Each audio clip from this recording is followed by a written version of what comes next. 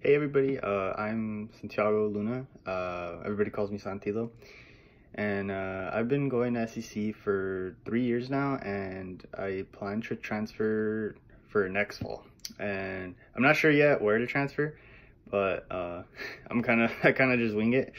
Um, I was born in Fullerton, but I live in Orange, and I'm taking this class because it's part you know it's a requisite you know. Uh, I come from a Hispanic background. Uh, my parent, both my parents are Hispanic, and my favorite color is green. Uh, I enjoy playing Minecraft, and I love drinking water.